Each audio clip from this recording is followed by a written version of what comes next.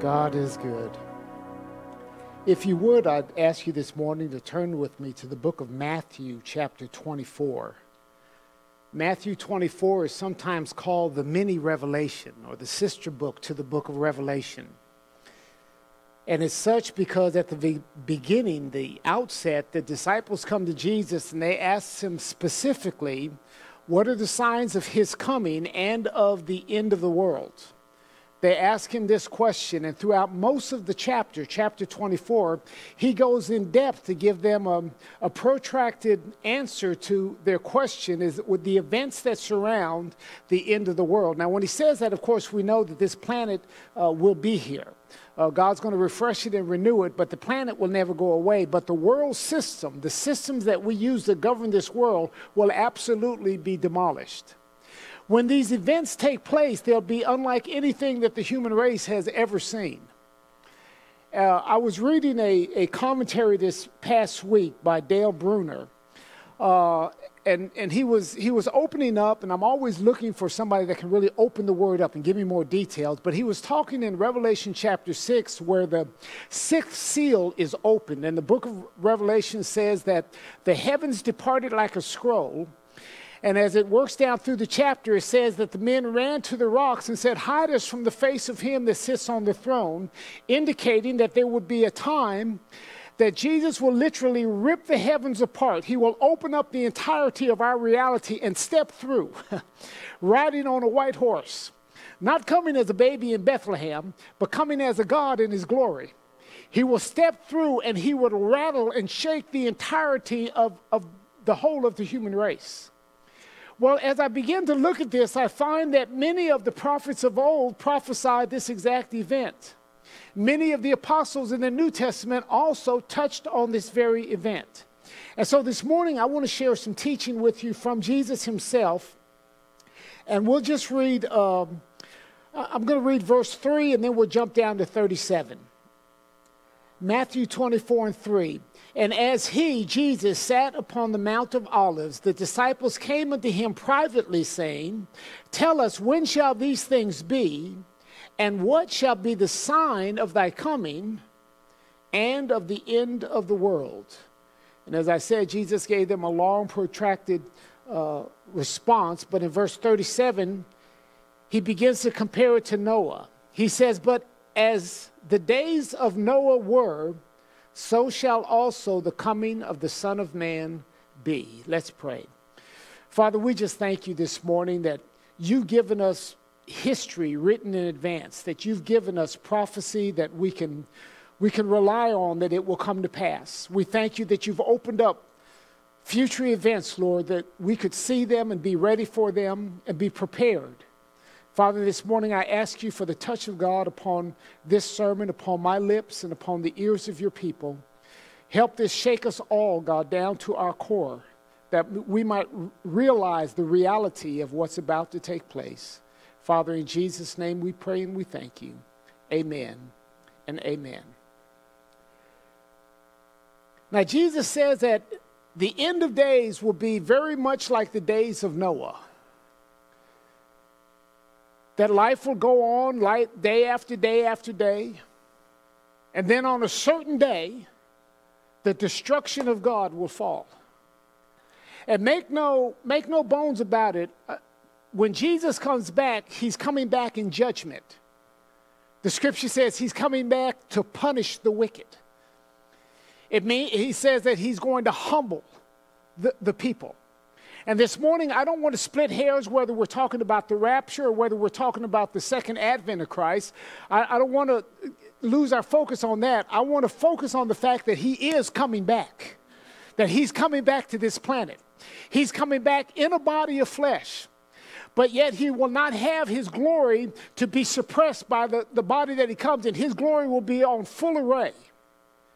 Now, Jesus says that as in the days of Noah, so shall also be the coming of the Son of Man. So we have to go back and we have to look at what happened in Noah's day. What were the particulars that we need to be aware of? The first thing that we have to realize is that from the book of Genesis all the way to the life of Noah, read the entire Bible, it had never rained one time. We know that in Genesis there was a mist that came up from the ground like morning dew that watered the plants, but you will find nowhere in the Bible that it ever rained. In fact, there are many commentators that believe that God would have had to explain to, to Noah what a flood was. God never told him it was going to rain, He said that a flood was going to come. And many believe that he had to explain, perhaps, what a flood was to Noah. So it had never rained. The people had never, uh, they had never, this was something so far outside of anything that they could imagine. Just like Jesus coming back is so far out of anything that we can easily imagine. Day went on, one day rolled out after another day. Things continued as they always has. And I'm, I'm reading from uh, Genesis 7:11. It says, "In the 600th year of Noah's life." Now let me stop there because I, I, I just want to put some emphasis on that. If you can't believe that Noah was 600 years old, you probably have a problem with the rapture or the second advent. Noah was actually not really that old for the men of that days. I believe if I believe Methuselah lived 935 years or 38 years, one of the two. So it says that in the 600th year of his life, in the second month and the 17th day, the same day, all the fountains of the great deep broken up and the windows of heaven were opened.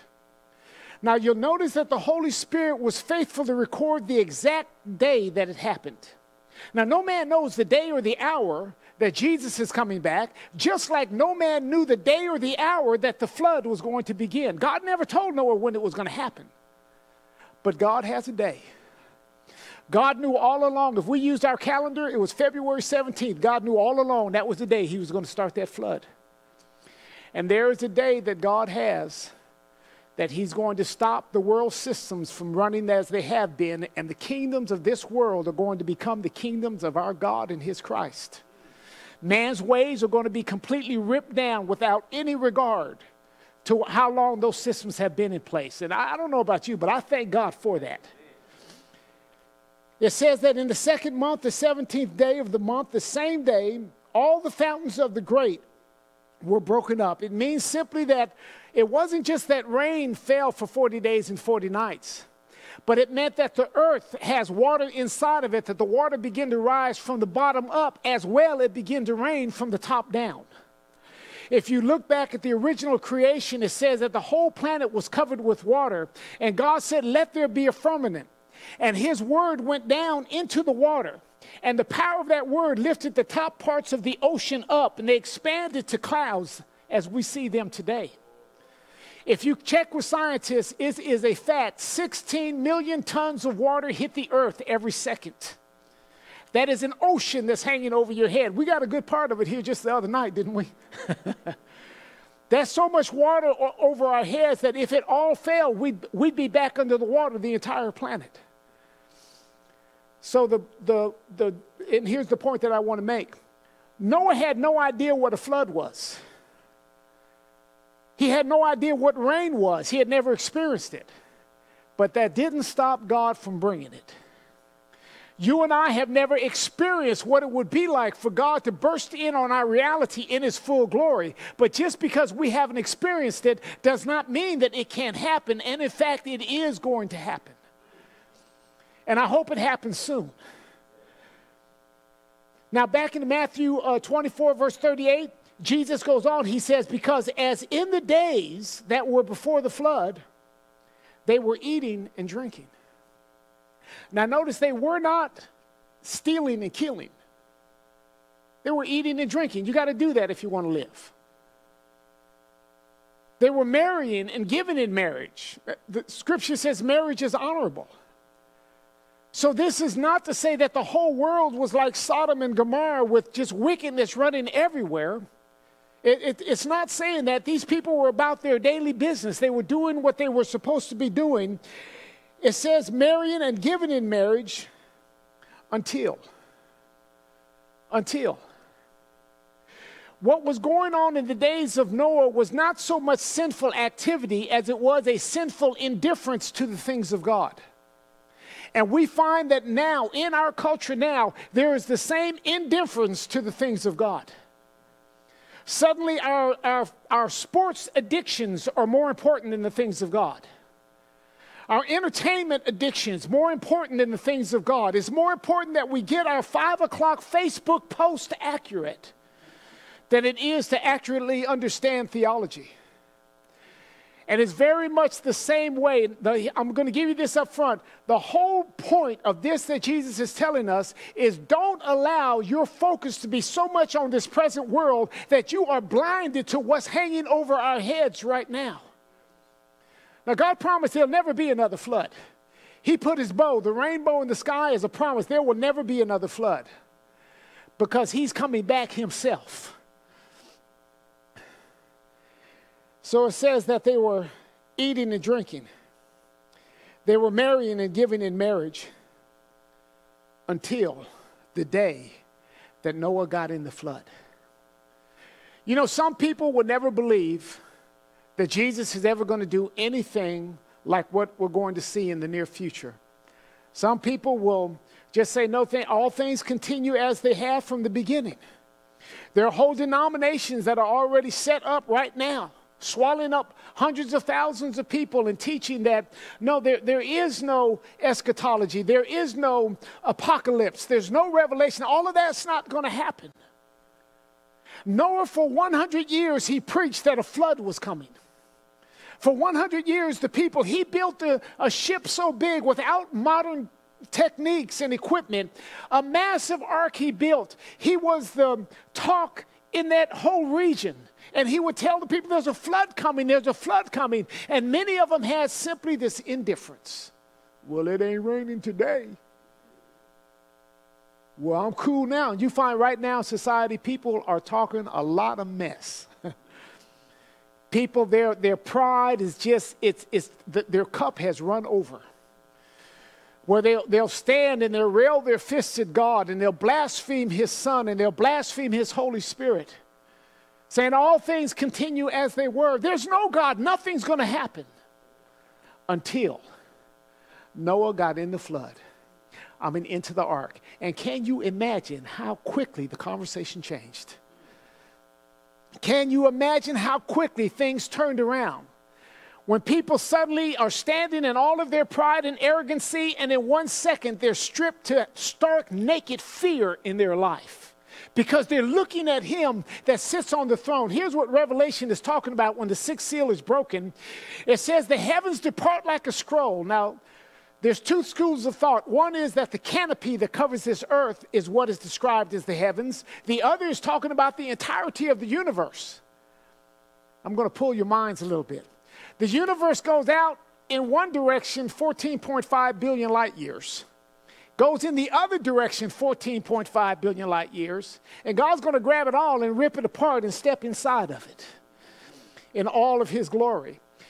And, and Revelation says that the mighty men and the, the, the, the, the presidents, the prime ministers, they ran to the rocks in the mountains and said, Fall on us and hide us from the face of him that sits upon the throne. That means that you will stand right on the planet, look right up, and you can see him. He's right there. I'm looking right at his face, and it's angry. And cause such fear in their life that they run underground to get away from his gaze. That day is coming. Doesn't matter how much the world don't like it. Doesn't matter how much people don't believe it. But not one jot, not one tittle of that word shall in no wise pass away until every piece of it has been fulfilled. God don't hang his word out and, ju- and just not look after it. It may take a hundred years, it may take a thousand years, it may take two thousand years to come to pass, but come to pass it will. So they married, they, they were eating and drinking, marrying and giving in marriage until the day that Noah entered into the ark. Now, there are several of the New Testament uh, writers that spoke of this day. Here's what Paul said in Thessalonians 5 and 2. He says, For yourself know perfectly that the day of the Lord, the day of the Lord is his return, the day he returns. It comes as a thief in the night. Now, what, what does that mean? The thief never comes and knocks on your door, says, "Hello, I'm a thief. Next Thursday at 7:30, I'll be by to rip your stuff off." Thief don't operate like that. The thief operates in stealth. He operates in secret. He makes sure nobody knows that he's moving, and that's how the second coming of Christ is. He said, No man knows the day or the hour, not the angels of heaven, not even the Son. They asked him, they said, When is this going to happen? He said, It's not for you to know the day or the hour. I don't even know. God has hidden that within his own heart. But he's got a day, just like the, the February 17th, he had a day that the flood began. And he's got a day that our judgment is going to begin. And let me just throw this in, because you may be thinking, well, good, we need to tear them up, Lord. Uh uh-uh. uh Judgment begins in the house of the Lord. Judgment begins in the house of the Lord. And if the righteous do scarcely make it, in other words, you ain't just going to wobble in. You just good. You, if you get in, it's going to be like this. because there's a lot of pride just right in the house of God, a lot of arrogance, a lot of rebellion right in the house of God. But the day's coming. You know, they had the same thing when the Holy Spirit fell in Pentecost. And they had two, Ananias and Sapphira. They had no regard for the things of God. They had no respect for the, for the, the, the, the, the dignity of the Holy Spirit. Just walked right up in front of Peter with a lie in their mouth. And I think rebellion in their heart. And Peter looked at Ananias and said, Why has Satan filled your heart? You thought that was the Holy Ghost, didn't you? Why has Satan filled your heart to lie to the Holy Ghost? And his wife came in several hours later with the same lie in her mouth, and Peter spoke death on her. While she was alive, he said, Them feet of those men that carried your husband out, they on their way over, they're going to carry you out too. And she died at his word. Judgment needs to start back in the house of God. See, we have no fear left in the house of God now. Oh, I'm not getting many amens. Folks ain't, they don't, they don't reverence, they don't fear God anymore. We got people all across the nation, they will, right after the service, clear out all the seats and put down the basketball hoop. And we're going to play basketball in the sanctuary. What in the world? Could you imagine playing basketball in the Holy of Holies? If you just stepped in there, if the high priest stepped in there and wasn't dressed right, oh, oh, we'll wear anything to church now. I'm not beating folks up. Wear what you got, but get something better.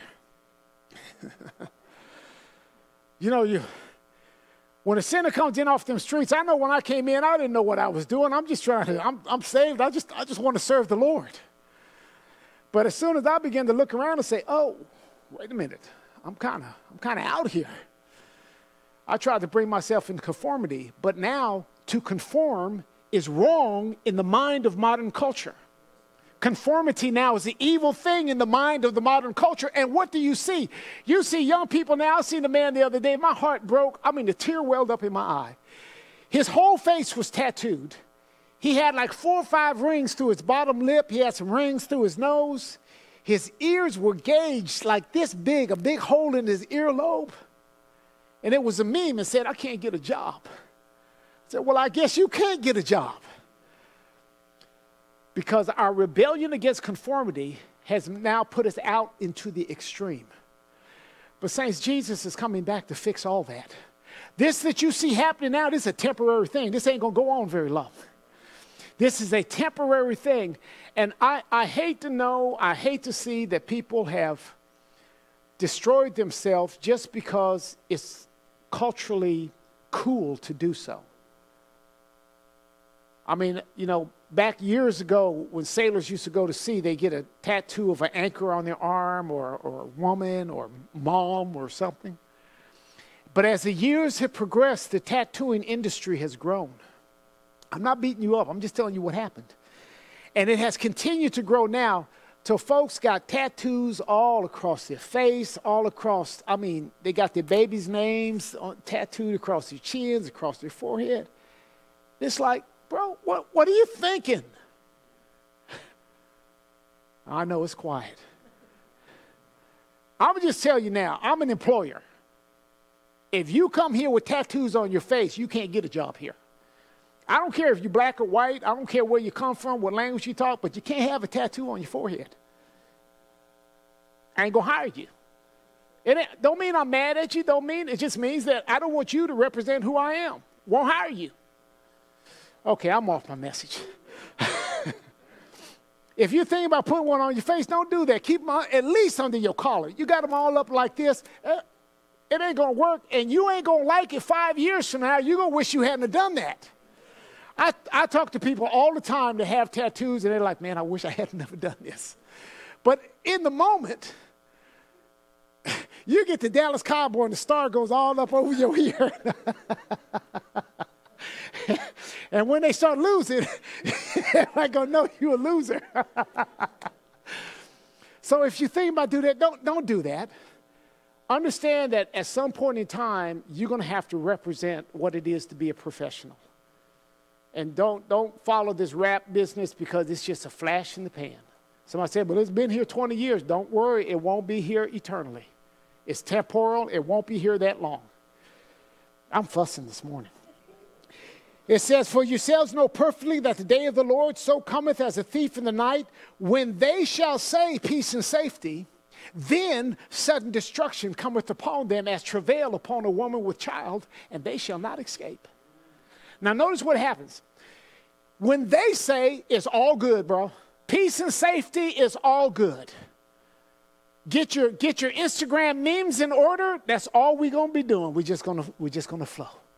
But right when they say peace and safety, the Bible says sudden destruction comes upon them. As travail upon a woman with child. Now, obviously, not, I'm not a woman and I've never had a child, but I've seen the process. And once it starts, you can't stop it. I said, once it starts, it's going all the way through. So he goes on to say, let me get back on because I'm running out of time. Uh, Matthew 24 39, it says, uh, let me read into it. They were eating, drinking, marrying, giving in marriage until the, until the day that Noah entered into the ark and knew not until the flood came. Meaning that they had judgment hanging over their heads for a hundred years. Two and a half generations, the judgment hung over their head, and they didn't know it. And how many today don't know? Don't know judgment is hanging over our heads right now. See, it, it, the, the day's coming that uh, it's not going to matter how much your tennis shoes cost. The day's coming. I heard one woman say this, and she's absolutely right. If you didn't choose Jesus, whatever you chose, it ain't going to matter. If you didn't choose Jesus, whatever you did choose, it won't matter. They didn't know. For a hundred years he preached, and they didn't know until the flood came. And then they had a fully developed education in what a flood was. My, my wife and I went to a Noah's Ark in, uh, where was that at? Kentucky, um, some time ago. And they had a, a little model set up within the ark that we were looking at, and it was the ocean and the ark set there on the ocean near, near the tops of mountains. And they had people on the mountains, and some in the water, and some holding on to pieces of scrap, all of them screaming towards the ark, Let me in, let me in. But once that door is shut, it's sealed. Let, let me say something. Once Jesus steps back on this planet, time is frozen. You're now in eternity. There, there's time. There'll still be days and hour, but but eternity has just started. And and the psalmist, I believe it was, he said the way that tree falls, that's the way that tree lays. If the tree falls to the north, it doesn't get up later on and fall over to the south. And if you fall in your sin and your rebellion, you can't get up after he gets here and say, Oh, now I'm ready to get right now, Lord. No, today is the day. If you hear his voice, don't harden your heart. Today is the day to get right. That's why he's telling us this whole parable.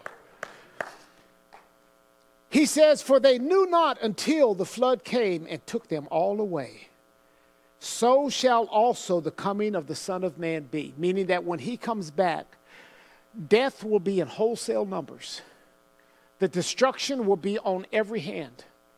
And if you look at, just look at the United States today, just look at it, the, the human condition, the way the human mind is constructed. The, the political upheaval that we're having now, the cultural upheaval that we're having now, the societal upheaval, there's only one way to fix it. A whole lot of people got to die. because one thing about us, we stubborn. We are a stubborn bunch.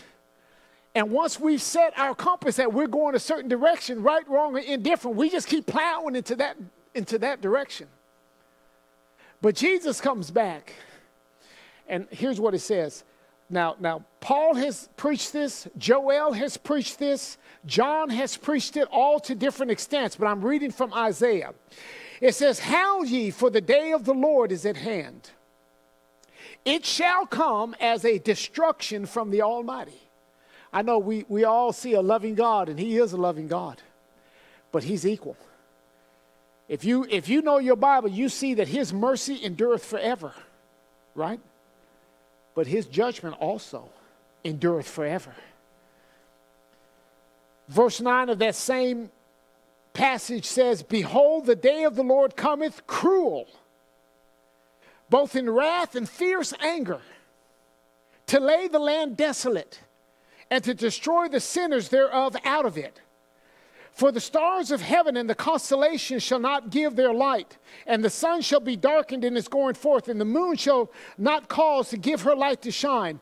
Here's what this is saying is that when Jesus steps back in his full glory, it's going to be just like when you step out at night, you can see the stars. If there's no clouds out, you can see the stars. But when the sun rises in the morning, all the stars stop shining. When Jesus steps out in his glory, you won't even notice whether the sun's up or down. you won't notice whether it's moon. Well, you, it, you won't even, all your, every focus will be upon him and his magnificence and in his glory. It goes on to say, and I will punish the world for their evil. Man, that's strong stuff. That ought to scare you. Does that shake you? It shakes me. I will punish the world for their evil and the wicked for their iniquity, and I will cause the arrogancy of the proud is over. And I will lay low the haughtiness of the terrible. Saints, this day is coming. It's been prophesied for millennia. It, has been prophesied through the mouths of countless prophets and apostles. This day is coming. So, what do we do, preacher? If it's coming, the destruction's coming, we can't stop it. What do we do? Here's what you do Matthew 24 42. He says, Watch. Watch, therefore, for you know not what hour your Lord doth come. The word watch means to be vigilant and to stay awake. It means don't be lulled to sleep into a life of just uh, being at ease in Zion thinking that your life is every day going to be just about your job and your house and your car and your rotation around the truth. That, that day is almost at an end. And all of a sudden, it's going to be a new day and a new time. So he tells you and I to watch, meaning stay aware of where we are in terms of, of, of, of, future prophecy, in terms of what's happening to God's time clock Israel. You can just look right now. I, I can. I, I'm hoping that you're seeing what I'm seeing. For a long time, decades now, the family unit has unraveled and man has created a new family unit. Are you with me there? But now we're beginning to see society as a whole unravel. Our school systems, our, the systems that have, for the, in this country, gone on for hundreds of years that have, have produce good things now is beginning to unravel. But now our government is beginning to unravel. The very foundations. The, the Bible says that when the foundations be shaken, what can the righteous do? That's happening right now. We, and it's not just happening here in the United States. This is happening in every country, no matter what kind. Iran, they just had a military parade. I think they had 14 people killed in a military parade, folks just came out and shot them down. The same thing is happening in all of the Islamic countries, just a lot of them don't ever, you never hear about it because they can suppress the news. But the whole world right now is beginning to unravel. And we are right at the very hour. Jesus, if you read the 24th chapter, he said nation would rise against nation. That doesn't mean necessarily Canada against the United States. The word nation is ethos, it means ethnic. Ethnicity will rise against ethnicity. And what do we hear now in the news so often? White privilege, black privilege. He white, they black, this, whatever. Folks, we're all human beings and we're in trouble, and the judgment is hanging over our heads. We need to drop all that and get right with God. Glory. We need to just get right with God. Verse 43, but know this. Here's what he's talking to you and I, but, but understand this that if the goodman of the house had known in what watch or at what time the thief would come, he would have watched. That makes sense, don't it? and would not have suffered his house to be broken up. Well, you and I, we can't know the day or the hour, but we can definitely see that the season is upon us. That means that we need to come aside. We need to find our, God needs to become our focus of life. Not our jobs, not our careers, not, uh, not, not our homes or our car, not, not any of those things, but God Himself needs to become the focus of our lives. I woke up yesterday uh, yesterday night. Uh, I don't know what time it was, but I woke up and I was just in that, in that place where you're half asleep and you're half woke. And all of a sudden I realized that my heart was just worshiping the Lord. I mean, I was just in a state of praise and worship and just giving him thanks, and I'm asleep. And I woke up and I'm, I, I was already, in my worship, I was already worshiping. I mean, in my sleep, I was already praising him and just mainly just thanking Him. How many of us just thank God? How many of us are just aware of the goodness of God, the good things that He does for us? We need to get to a place that we're more aware of eternity than we are of where we're at right now. Because whether you're aware or not, you know the little game we used to play? Ready or not, here I come. Ready or not, the king is coming. He would have watched if he had known, musicians, please come back uh, to the stage. If he had known in what watch the thief of the night of the thief would come, he would have watched. Well, you and I don't know the day or the hour, but we know we're in the season and we need to be watching. That means stay awake, be attentive. Verse 44, therefore, therefore means based on everything that I just said based on everything that Jesus has just given us in that. Therefore, be ye ready. He's coming. It's just a matter of are you going to be ready or not? Am I going to be ready or not? That's the only question. There's no question as to whether he's coming. For in such an hour that you think not. When there's a temptation there to say, What shall I say to my soul? Eat, drink be merry. All, everything is good. In such an hour as we think not, the Son of Man cometh. Jesus is coming back. You can split hairs over is it a rapture or is it a second advent? There's nothing wrong with that. It's good to try to understand it, but you need your primary understanding needs to be this. He is coming back. He's not coming back to be spit upon. He's not coming back to negotiate. Here's the boldness of God. Here's the boldness of God. God sends one man from heaven, one man, stands up to the whole of the human race and says, Repent. That's what he did in his incarnation. Well, when he comes back the second time, he's coming back in his glory. and how much, how much more bold will he be? Jesus is coming. Jesus is coming.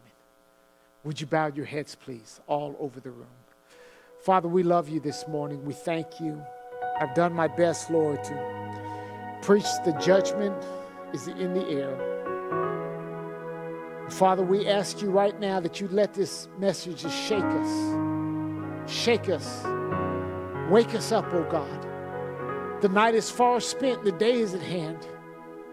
Help us to arise and shine, oh God. We're children of the day and not of the night. Let this word just shake us. Father, I ask you that your Holy Spirit would bring conviction upon my heart, the hearts of your people.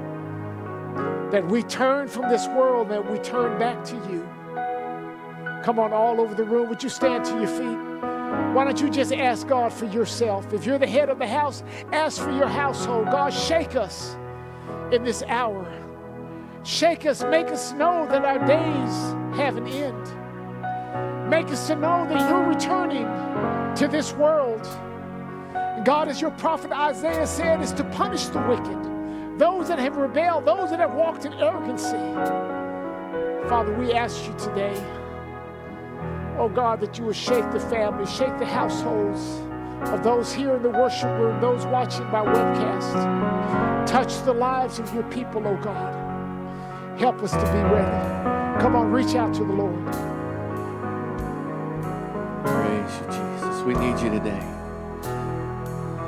Oh, Lord God.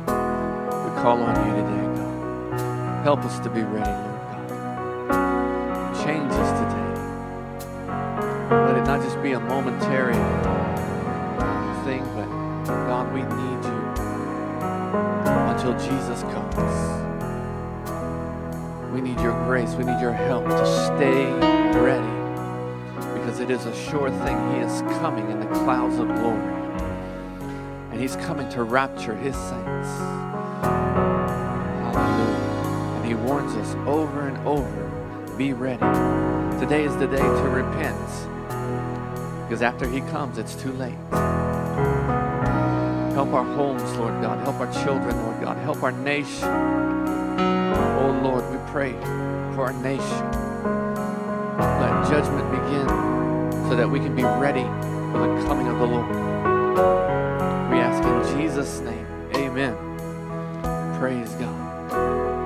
Hallelujah. Let, let this word just grip your heart. Don't forget about it. It's important that God's people know that they need to be ready.